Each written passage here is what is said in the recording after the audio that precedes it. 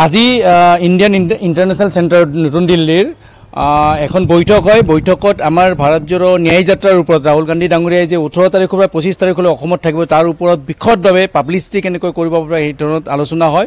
আৰু এই আলোচনাত হয় আহ, মিলিত হয় নিখিল ভাৰত কংগ্ৰেছ কমিটিৰ সাধাৰণ সম্পাদক জয়ৰাম ৰমেশ ডাঙৰীয়া আৰু আমাৰ মিডিয়া বিভাগৰ অধ্যক্ষ পৱন খেৰা ডাঙৰীয়া আৰু ছ'চিয়েল মিডিয়া আৰু ডিজিটেল প্লেটফৰ্মৰ অধ্যক্ষা মুখপাত্ৰ সুপ্ৰিয়া সিনিয়ৰ ডাঙৰীয়ানী আমাৰ আছিলে আৰু প্ৰায় সাত ঘণ্টা যোৰা দহ বজাৰ পৰা পাঁচ বজালৈকে সাত ঘণ্টা যোৰা বন্ধ ক্ল'জ ড'ৰ বৈঠক হৈছিল আৰু বৈঠকত বিশেষকৈ ভাৰত জোড়ো ন্যায় যাত্ৰাৰ আমি কেনেকৈ পাব্লিচিটি কৰিম বা কেনেকৈ ৰাইজৰ মাজলৈ লৈ যাম তাৰ ওপৰত বিশদভাৱে আলোচনা কৰা হয়।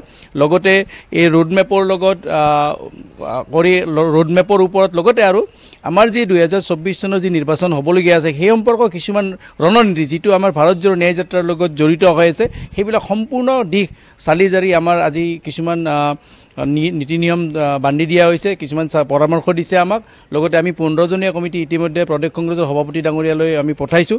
এই গোটেই পোন্ধৰজনীয়া ছ'চিয়েল মিডিয়াৰ কমিটিখন আমাৰ আৰম্ভণিৰ পৰা ওঠৰ তাৰিখৰ পৰা ৰাতিপুৱাৰ পৰা পঁচিছ তাৰিখলৈকে ৰাহুল গান্ধী ডাঙৰীয়াৰ লগত থাকিব টুৱেণ্টি ফ'ৰ আৱাৰ ছাৰ্ভিচ দিয়াৰ বাবে আৰু পাব্লিচিটিৰ বাবে তেওঁলোক থাকিব। আৰু বিভিন্ন ধৰণৰ আমি জিলা জিলাৰ পৰা ব্লক লেভেলৰলৈকে আমাৰ গোটেই কমিটিবিলাক এতিয়া সুস্থম হৈছে আৰু সকলো ফূৰ্তিত আছে কাৰণ ৰাহুল গান্ধী ডাঙৰীয়া অসমলৈ আঠ দিন জোৰা যাত্ৰা কৰিব আৰু তেখেতৰ যি উদ্দেশ্য মহান মহান উদ্দেশ্য ভাৰত জোড়ো ন্যায় যাত্ৰা সেই উদ্দেশ্যত আমি সমভাগী হ'ব পাই আমি নিজকে আহ, সৌভাগ্যৱান এটা দায়িত্ব ল'ব পাৰে পোন্ধৰজনীয়া দলৰ এটা নেতৃত্ব ল'ব পাৰে এনেকুৱা এটা ডাঙৰ প্ৰগ্ৰামত মই নিজকে সৌভাগ্যৱান বুলি ভাবিছোঁ ইয়া আৰু এটা নিশ্চিত এই যাত্ৰাৰ ফলত কিন্তু আপোনাক মই দেখি হিমন্ত বিশ্ব শৰ্মাৰ কাৰণে যিমানে ডাঙৰ কথা কৈ নাথাকক কিয় এই যাত্ৰাৰ পিছত আপুনি দেখিব তেওঁলোকে যে চাৰে এঘাৰটা ছিটৰ কথা কৈ আছিল এতিয়া দুটা তিনিটা ছিটলৈকে তেওঁলোকে নামি আহিব লাগিব।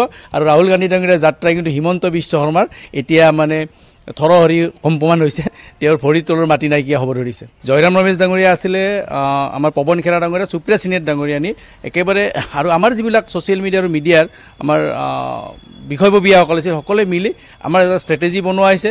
আৰু ষ্ট্ৰেটেজিটো আপোনাক এতিয়াতো আমি ক'ব নোৱাৰিম। আৰু এই ষ্ট্ৰেটেজিটো আপুনি দেখিব প্ৰায় আমাৰ দহ তাৰিখ বাৰ তাৰিখৰ পৰা ষ্ট্ৰেটেজিকেলি আমাৰ কাম কৰা হ'ব। চৈধ্য তাৰিখৰ পৰা যিহেতু মণিপুৰত হ'ব এইবাৰ অলপ বেলেগকৈ মানে ছ'চিয়েল মিডিয়াত পাব্লিচিটি আপোনালোকে দেখা পাব হয় মই বৰপেটা লোকসভা সমষ্টিৰ পৰা প্ৰাৰ্থিত্ব বিচাৰিছোঁ এইকাৰণে কাৰণ মই নলবাৰী সমষ্টিৰ এগৰাকী ভোটাৰ বা নলবাৰীতে জন্ম হৈছিলে মোৰ নলবাৰী কলেজৰ জি এছ আছিলোঁ। তাৰ পৰাই নলবাৰী সমাজ জীৱনলৈ এটা মোৰ ওতপ্ৰোতভাৱে জড়িত হৈ এখন সমাজৰ লগত জড়িত হ'লোঁ। তাৰ পৰা গোটেই যেতিয়া ছ'চিয়েল মিডিয়াৰ চেয়াৰমেন হৈ মই কাম কৰিলোঁ তেতিয়া গোটেই সমগ্ৰ বৰপেটা অসমৰে ধৰি বৰ- বৰপেটা লোকসভা সমষ্টিৰ প্ৰতিটো বুথৰ বুথ পৰ্যায়ৰ মানুহলৈকে মোৰ ডাইৰেক্ট কানেকশ্যন এটা হৈছে। মই চিধা চিধি তেওঁলোকৰ লগত কানেকশ্যনত আছিলোঁ বহুত দিন ধৰি আৰু তাৰ ফলত আচলতে মোক ৰাইজে যেতিয়া তেওঁলোকে বিচাৰিছিলে মই প্ৰথমতে বিচৰা নাছিলোঁ। বেলেগ বহু আমাৰ বিষয়ববীয়াই বিচাৰিছিলে। কিন্তু যেতিয়া ৰাইজৰ ফালৰ পৰা মোৰ প্ৰেছাৰ আহিল যেতিয়া তেওঁলোকে ফোন কৰি কৰি মোক ক'ব ধৰিলে যে আপুনি বিচাৰিব লাগে বা আপুনি প্ৰতিনিধি হ'ব লাগে তেতিয়া মই নিজে মানে প্ৰতিনিধিত্ব বিচাৰিছোঁ আৰু মই আশাবাদী যথেষ্ট। কাৰণ মোক লৈ দলীয় নেতৃত্ব মোৰ কাম কাজক লৈ তেওঁলোকে ডেফিনেটলি চাব আৰু বৰপেটাত মই আপোনাক ক'লোঁ আঠ আঠ লাখৰ পৰা দহ লাখলৈকে। ধৰক মই ভোট পোৱাৰ একেবাৰে সম্পূৰ্ণ মানে বিশ্বাসী এইকাৰণে কাৰণ আপোনালোকে যদি মোৰ হেৰিখিনি চায় মোৰ সমাজৰ লগত যিটো মই জড়িত বা নল বৰপেটা লোকসভা সমষ্টিৰ অন্তৰ্গত প্ৰতিগৰাকী মানুহক যদি আপোনালোকে সোধে তেতিয়া গম পাব যে মই খেলিলে দহ দহ লাখ আঠৰ পৰা দহ লাখ ভোট মই পোৱাৰ সক্ষম হ'ম।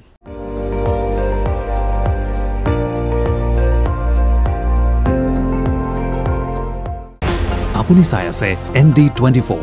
সৰ্বশ্ৰেষ্ঠ নহয় সৰ্বোত্তমৰ দৌৰত